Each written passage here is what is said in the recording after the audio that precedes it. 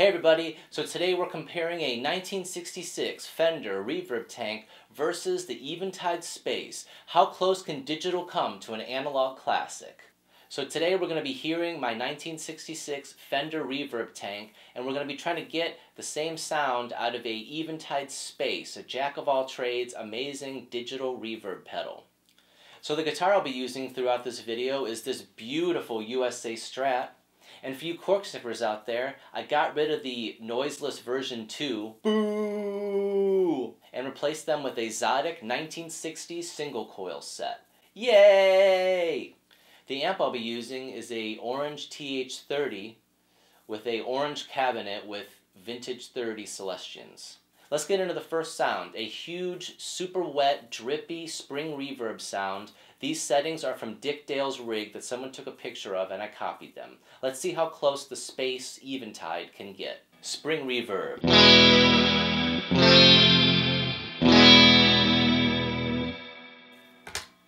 Eventide.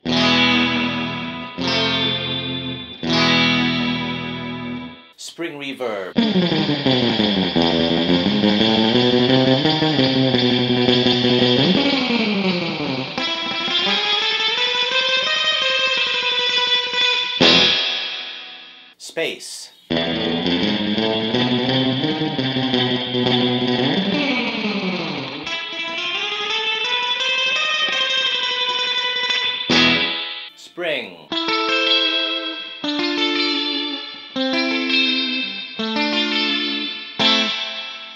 Space.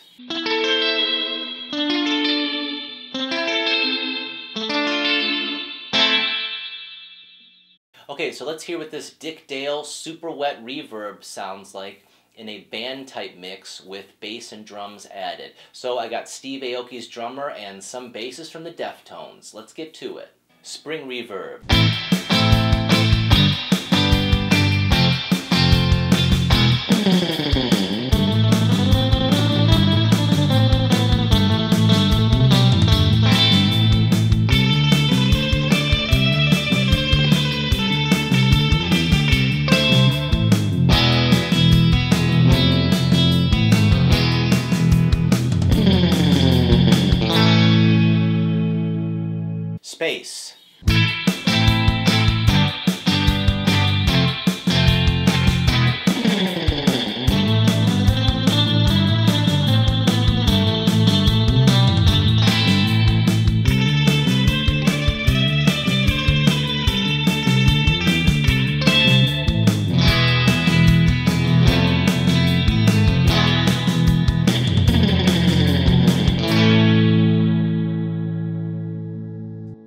Okay, so let's go over the controls on the Fender Reverb, and these are the parameters that I just had for the Dick Dale type sound that came from his uh, unit someone online had a picture of.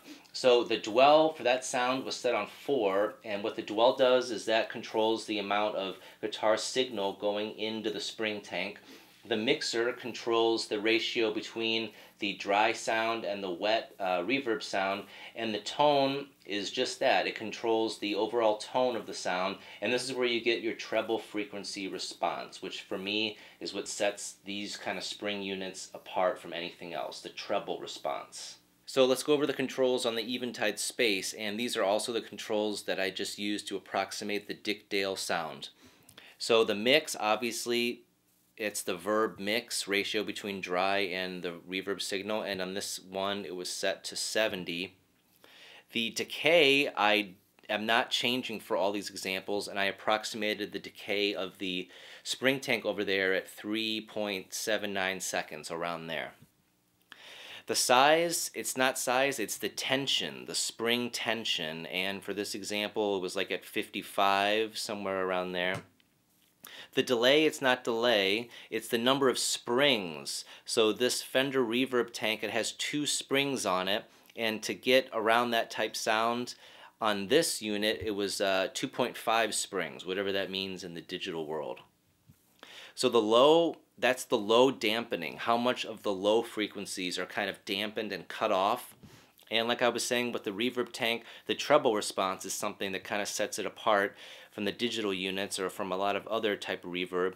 So I have the low dampening pretty high at 90. And the high dampening, it's at zero. So there's no dampening of the high frequencies. The contour, it is the resonance, and that sort of the manual says it's the amount of metallic type sound. Uh, it has to do with the high frequencies feeding into that. So that's at 100 on this particular example. And the rest of these knobs have, have to do with a added tremolo, tremolo effect you can get with this algorithm, and it's all off. I don't have any of that going. Okay, so the next tone I want to show you is this cool kind of sitar type tone you can get by maxing out some of the controls over here on the Fender Reverb tank. And I wasn't able to get quite the same sound out of the reverb space, so I had to add in a tube driver to get that tube sound, because there are tubes in this reverb tank that I think add to the strength of this particular tone and possibly overall to the tone of the unit. So first let's hear what the reverb tank sounds like, and then I'll show you how close I came with the space with and without the tube driver. Spring reverb.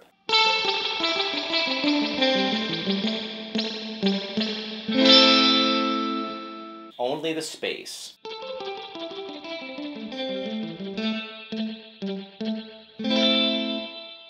But if I had the tube driver,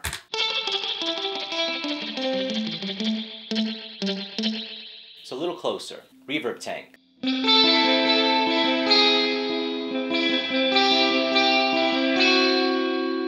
Space with the tube driver.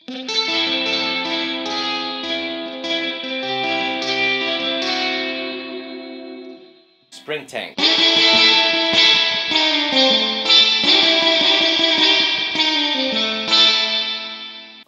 Space with the tube driver.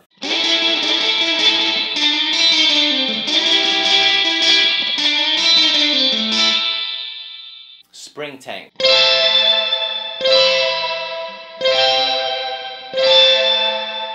Space with the tube driver.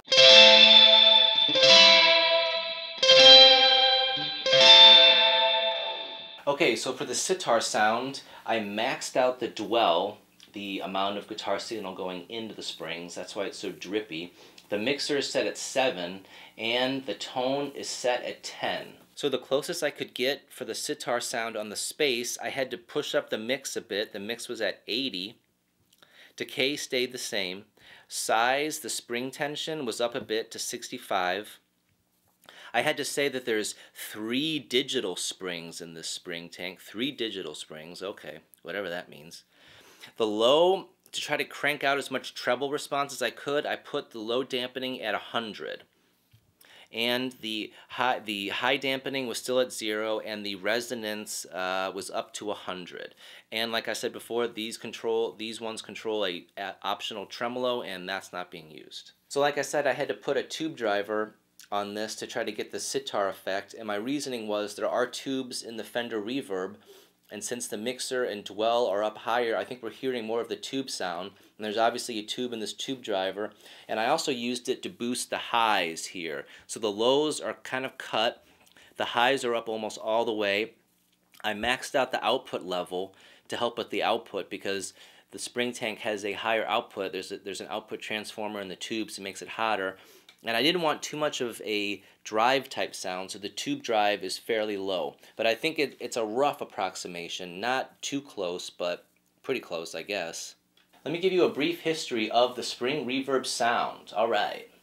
So it started actually in Hammond organs from the 30s and 40s, and the effect was so unique and popular that Hammond soon started licensing out their reverb tanks to other manufacturers. One of the first to pick up on this was Fender, of course, and in 1961 Fender came out with their standalone spring reverb tank, and later they started putting reverb in their amplifiers starting with the twin reverb in 1962. Okay, so why are these spring reverb tanks so cool? Why are they so desirable? Well, there's a couple reasons. One is the high-end response. The metallic, high-end nature of the sound is very unique and it's hard to replicate digitally. Also, that's where you get the drip sound that you hear, especially with the Dick Dale surf type tone. Also, these units are tube powered, so there's a creaminess and warmth that's added to the tone because there's more tubes in the mix. More tube, more tone, baby. Also, these vintage units are old, and thus, when they heat up, they smell great. And also, who could forget the awesome reverb thunder type sound that you get when you shake a reverb amp?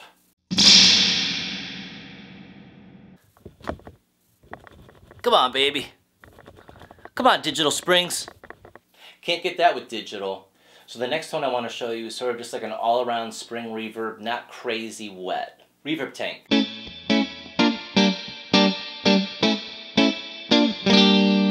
Space.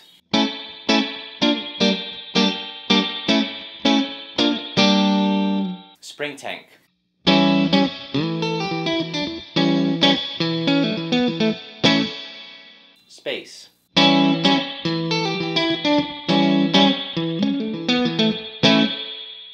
Tank.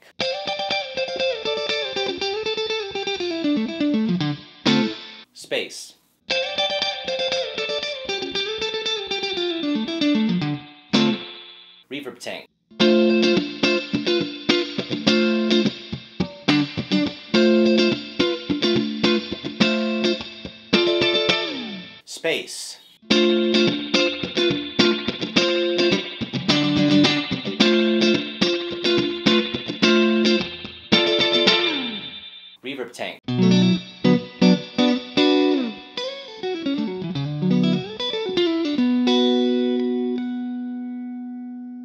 Space.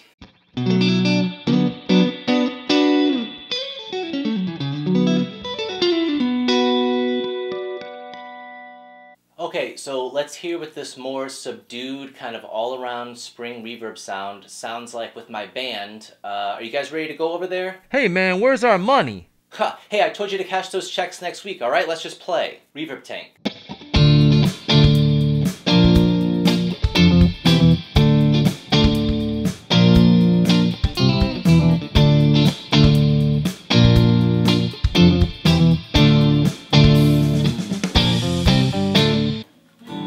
Eventide.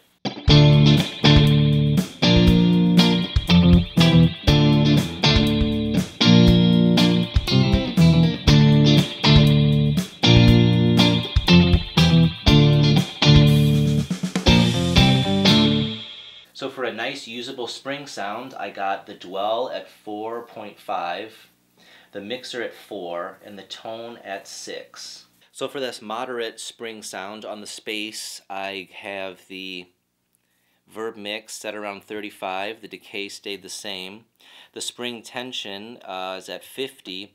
And this time we have one spring, one digital spring, everybody.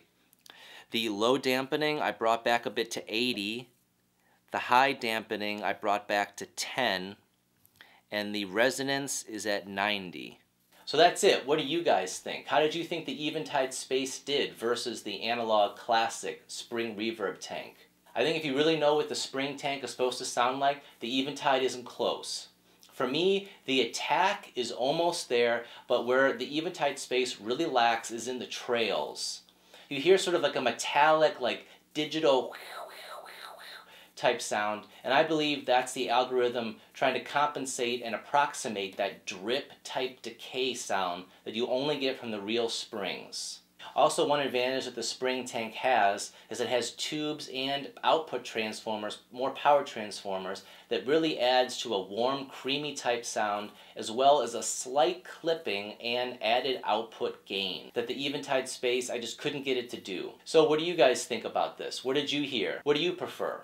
Personally, I am going to go with the analog. Of course, the digital, it's easy to carry. You get a million effects in that space box down there. But in this digital age we're living in where everything is ones and zeros and everything is trying to be on a computer chip, I prefer the good old analog. So let me know what you guys think in the comments below and feel free to hit me up at shredpro411 at gmail.com. So this is Jon signing off and we'll see you down that dusty trail.